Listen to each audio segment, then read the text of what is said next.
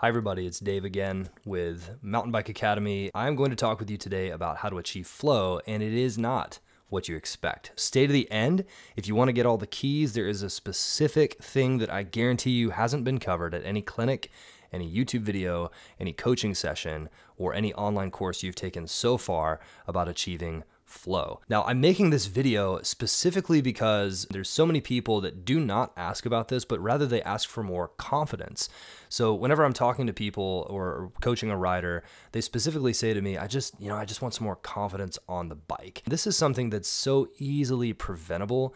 And it's something that has actually been uh, really a subject of mastery in a whole lot of other fields, except for mountain bike coaching specifically. So I intend to be the number one resource for where to go to build confidence on the mountain bike. So that's why I'm here. That's what I'm doing. And if you want to join the 1% of riders who finally figure this stuff out and ride like a kid again, you're in the right place. So buckle up, watch to the end. Let's dive in. Let's talk first about the definition of flow. First of all, science defines flow essentially as liquid flowing or going from A to B continuously. So if we look over here at the left side of the screen, this is literally the definition from, I mean, go Google it. Flow is an object moving from A to B continuously. What we're talking about today, though, is how you can feel that that state of flow, that exhilaration of showing up on your bike and doing something that you're proud of in front of your friends, ideally. So let's dive in. Now, instead of just flowing from A to B continuously, we need to talk about how to get into a state of flow and, and first, I want to talk about the fact of the matter that um, there is a difference in difficulty and skill. And in between those differences, if you look over here on the left side, you'll see right here, this is you. This is how you feel flow in your body, your mind, and it actually makes the ride worth it when you're out on your bike. So over here on the left side, we'll see that if you look here, it's difficulty is high, right? Let's see if I can actually, oh yeah, now we're talking. So if we take a look at this chart, difficulty, it's really high, okay? And when the difficulty is super, super high up here, and the skill level is low, so at this part of the graph, when difficulty is high, skill is low, guess what? You're in trouble. You're probably going to crash. I remember the first time that I tried to make a turn on a mountain bike and there was a berm in front of me. Instead of me going to the left, which is where the berm went, I went straight I went straight over the top of the berm and put a huge gash in the back of my calf and my friend had to take me to the emergency room to get stitches. So that is what I mean by danger. It means that the difficulty of the trail or the task in front of you is is too high and you're probably going to crash. That's that's like right here. Okay. Now, as we move a little bit further along, so as we move a little bit further along here, where maybe our skill gets a little bit better and the difficulty is still really high, you're still likely to crash, but it, it's almost like this, this does diminish a bit as we go. Now, the crazy thing starts to happen once skill and ability match. You might have fun right here, but you will not experience flow. Why is this? Because flow, and they've done a, quite a bit of studies on this with high level athletes and endurance people and, and people just doing all around really good things. The, the challenge is that you have to be able to find a place in your riding and specifically tasks on the bike that actually challenge you just a little bit past your skill your current skill. Does that make sense? So, uh, when when your when your difficulty and the skill is right kind of in this little pocket right here. And there are some people that say that the difficulty has to be a little bit bigger than your skill. I would just say that if you stay right here in this little triangle where you're not crashing, that's the distinction. It's challenging enough for it to feel dangerous, but you overcome it where it feels like your skill is a little bit better than the trail. This is where you achieve flow. This is where I think you should really try to find yourself on the trail. So, uh, really simple. How do you do this? Well, just find something that maybe scares you a little bit that you know you can do and plan for it, work up to it, and and ride with some friends. So, this is the key here is that everything on the right side of this graph, beyond this inflection point right here, everything to the right is actually safe. Okay. So as your skill increases and as the difficulty goes down, you're more and more likely to be safe. Now, if we're in a state of flow, it's also likely that if you lose control or maybe, you know, you go bouncing a little bit over some roots or maybe don't make the turn quite the way that you want to, it's likely that you're probably not going to crash. You're just going to laugh about it. This is where I like to be with my riding, again, right here in this triangle where my skill is slightly bigger than the difficulty because I'm in control of my bike.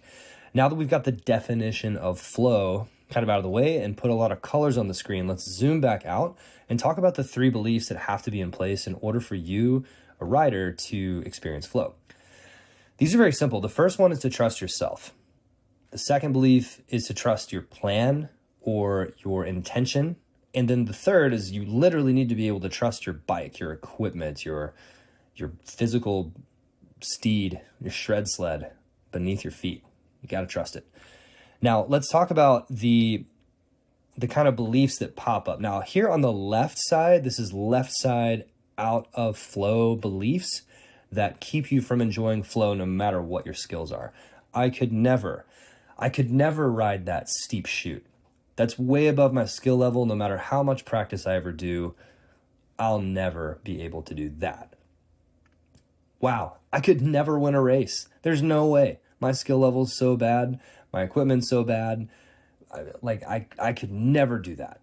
Um, another example could be oh my gosh, being good enough to be taken seriously as a coach for the local kids in my community, I could never do that. No way. They would look at me, they would laugh they would they would see right through and they could tell that I'm just a beginner with a nice bike.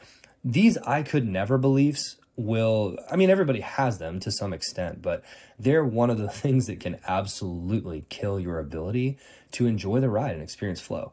Uh, I'm not going to talk to you about uh, any mindset work to get out of these. I just want to identify those. So bear with me here. The second one that's just an underconfident belief is just send it. Just send it, man. Just send it, bro just send it is the equivalent of of uh, ignoring your conscience. And and quite frankly, you'll find this mostly with um, when I first started riding. I was 20 years old, and and that was our way to build confidence. We would crash our way to confidence. We would literally crash our way to confidence. It was a lot of fun. We we kind of wore our crashes as a badge of honor. I still have scars, and I'm proud of. Not gonna lie. Uh, and and this one this one's crazy dangerous because a lot of people ride with this negative belief of just send it, you know. And again, remember this is related to trust the plan. Okay, you don't need a plan. You're probably not going to make it anyway. We're here to get busted up and bruised. Uh, you know, it's a badge of honor again, this is uh, quite frankly, it's a lot of fun. This is a lot of fun when you're 15, 12 years old, 20 years old, and you can recover quickly and you don't pay for your own health insurance and no one's counting on you to pay the bills. So, um, not picking on anyone here, but again, this is just identifying another belief that keeps us out of flow because in this state, the only time you're ever joyful after this is if you get lucky. And again, we're not playing the game of getting lucky here. We're playing the game of what do 1% of mountain bikers achieve? They achieve flow on command. Very few riders achieve this on command. And one of the things that'll eventually get you out of the game because of too many injuries or or just losing your confidence over time is just send it, bro. Now, obviously, we got to trust our bike. So a great, you know, out of flow belief that can exist is what if my tires explode? What if my, you know, oh, I haven't, I haven't done that tune up. I, I hear a noise coming out of my shock. What's that rattling in my down tube? What's that rattling in my wheel? Why is it that when I turn left, my bike starts slipping? You know, I don't, I don't know. Just uh, I'm making these up. So you know, literally, this one is uh, go to a bike shop and get it fixed if you don't know how to. You know, you got to trust your bike. So uh, obviously, this one this one can get in the way. Now, there's also some overconfident beliefs that are not in alignment with the three beliefs that we need to have flow. These are overconfident beliefs based on false pretenses or they're just based on you know being a newbie sometimes. So no offense to anyone here, if you're thinking this, I'm just letting you know that these are some things that will keep you out of flow. Here's one for trusting yourself. That's easy. I saw it on YouTube. this is being oblivious. This is not even knowing what you're up against. This is this is kind of like saying, "Oh man, I saw some guy on on uh on YouTube or on you know, I saw some pro do this. It doesn't look that hard." That's kind of like ignoring the whole premise of our sport, which is that it's very difficult and anyone can do it uh, without even trying. So obviously, uh, this is kind of hilarious because, you know, where have we seen this one before? The just send a belief. Maybe this is my plan isn't good enough, but I'm going to do it anyway because I know that my plan is insufficient.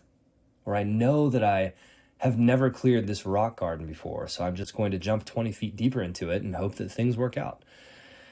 Uh, this is almost like a, a, false confidence. Okay, so false confidence. I'll get to this in a second of why it doesn't give you flow and why it ultimately can be the reason why you get sent home to the hospital rather than to your family if you have this belief. So it's just not something to mess around with. Just send it is probably the worst advice unless you have all these three three beliefs completely dialed. Okay, this is like a this is like the last thing you need to do, not the first thing you need to do. Uh, finally, then trusting your bike, and overconfident belief could be something like, literally, my 2004 Walmart Mongoose is fine. Let's go. Definitely not true. so, what I noticed, what you should notice when you take a look at these these three core beliefs that you have to have in order to achieve flow is that I talked about confidence. Okay, so let's talk about confidence for just a second before we go any further.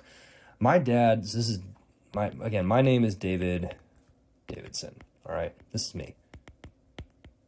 And this saying came from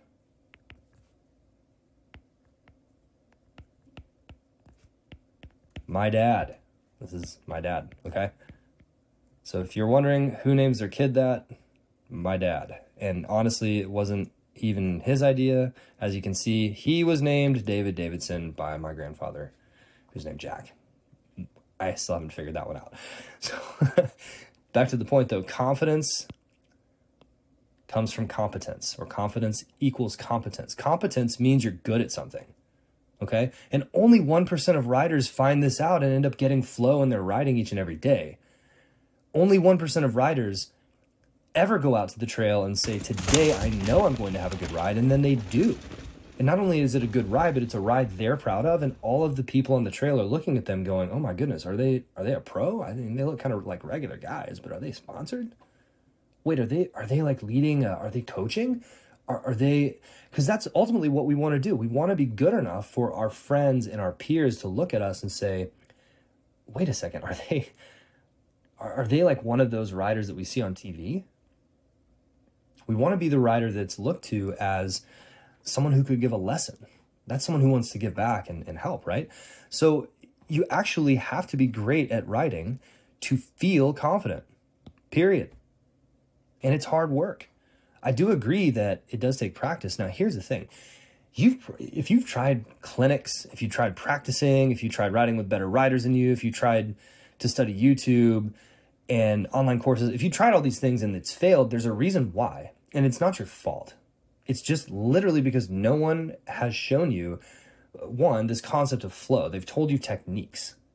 They've maybe even shared some mindset tricks for you, okay? But they've never shown you the foundation of what it actually takes to get into flow. Remember, confidence equals competence. If you are not an expert level rider yet, if you have these beliefs right here running through your head, guess what? you do not have confidence and therefore you do not have competence at the level that you want it. Now, I'm not trying to be harsh here at all. I'm just trying to be very, very honest with you because uh, what a lot of people will say, and the reason why a lot of these people that are popular, and if, quite frankly, I think they're doing a great thing. Uh, a lot of the reason why these people that you listen to, the, the popular ones, I'm not naming any names because they're great people, they're doing a great thing, they're promoting mountain biking, and they're sharing positivity. The problem with just sharing positivity and technique is that it doesn't fix the root issue. Okay? What I've found when working with writers all over the globe is that confidence comes from competence. And this confidence is the foundation of the three beliefs that have to be there. Okay. And these three beliefs flow into your physical skill. Okay. Do you follow yet? Is this making sense? So, the most important thing you can do is focus on this foundation here, this confidence and this competence. The problem is you don't get any points. You get you get put into this situation if you just throw your bike at things with techniques. You're guaranteed to be in over your head at some point in time. If you're a beginner rider and you try to go out and do difficult things to build your confidence, you will crash, you will fall off your bike, you will look silly in front of people, which is fine. But eventually, it'll build up a bank of negative experiences. And ultimately, you'll start believing more towards this side over here. And I don't want that for anyone here. That's why I started this whole thing. So eh, you can hear me getting very passionate about this because confidence and competence are something that so few people get to experience, but it's the reason why we work hard in life. You might as well try to get out of this if you're something, if you're going to do the work anyway, if you're going to practice, you might as well get the confidence and the competence. Okay. Now, I'm not talking about six months, I learned to do a front wheel lift. Oh my gosh. Like, nobody's going to, no, nobody at the office is going to be like, you did a, a what again? A front wheel lift? Like, they're not going to care. But if you show them a video of you sending a 15 or 20 foot jump, or if you show them you in a race where you placed on the podium, and they're going to think, you know, Carl from the office on, you know, cubicle 23 is actually pretty cool, right? So if you want confidence and competence, what you must do, and this is the this is the key right here, you must earn your body and your mind difficulty points safely. This is everything. Now, I'm not saying you shouldn't go to a skills camp. I'm not saying you shouldn't go to clinics. I'm not saying you shouldn't study YouTube. I'm not saying you, please, and quite frankly, please, please, please follow all of the YouTube influencers that are doing the how-to stuff. That's that's fine. Like please, the more that they get promoted, the bigger our sport grows and the better overall it's going to be. Just don't count on them to earn true confidence and competence at the level you know you can, at the level you deep down are desiring to go to. Why? Because you must earn difficulty points safely. In other words, you must make your body know what it feels like right here you must make it know what it feels like to do the things in this orange triangle before going 35 miles an hour on a mountain bike and sending yourself through the air. Okay? So, in order to do this, you you have to incorporate a couple things into your training regimen. Number 1 is is you have to incorporate movement work, okay? Now, there are specific movements based off of, you know, just um, where your body's at and what you can and can't do. And that's something we do in the Athlete Accelerator called the Mountain Bike Movement Reset, where um, if you take a look right here on the screen, I'm sharing this is kind of what it does. It helps people go, oh my gosh, I haven't been able to do this in so many years. Uh, this helped me out. So you have to do movement work. Movement work allows you to connect with your body and build a mind muscle connection that is immutable. It doesn't go away. Number two, you must practice with a goal and an intention in mind. The other day, I went out to ride straight up the green trails. I've got a video on TikTok I just posted up, and it was me you know, doing some pretty flat green trails. I had a blast, but my intention that day was to jump about a 20 foot jump where you come in and it's a left turn, then you got two right hand pumps, and then a tiny little lip in front of uh, a giant rock face with a rock landing on the other side. And there's about 10, 15 little rocks, makes a little rock garden. So I wanted to jump over and land both my tires in an exact spot. Specific goal that was difficult. Now, I don't think I was, you know, in risk of uh, risk of crashing, but the specificity and the difficulty of landing my tires where I wanted to land them made it difficult. So You must do movement work and you have to practice with a goal and intention in mind. These are the main ideas for today. Thanks so much for listening in. Catch you on the next one. Like and subscribe and share this with a riding friend if you think this is valuable. Plus, if you think this is if you think that this really resonates with you, go ahead and like I said, subscribe to the channel. If this is, if this training makes sense to you and you're like this is something that I want, go ahead and take the next step. You know, you're already part of the Society of Shred. You're part of the 1% of riders who are going to the next level go ahead and click on the link below. For the rest of the month of January, I have two spots available for coaching to work with me directly. This is not something that I normally do. Uh, we just had a couple spaces open up. And if you want to come in and get coached on exactly how to do the movement work, exactly how to do the mountain bike movement reset, and ride like a kid again, go ahead and hit the link below. You'll talk to me personally. We'll dive into what's working, what's not with your riding, exactly what's holding you back. If it's not the mountain bike movement reset, I will straight up tell you I have no, uh, it, it doesn't help me to bring in someone who isn't a fit for this. So instead, what I'll do is I'll point you to whatever would be best. And if this is the right thing for you, I'll show you step by step exactly how I've helped hundreds and hundreds of other riders around the globe achieve these same kind of flow results that you're hoping to make yourself. So go ahead and click the link below, like and subscribe to the channel, and I'll see you on the next episode. Thank you.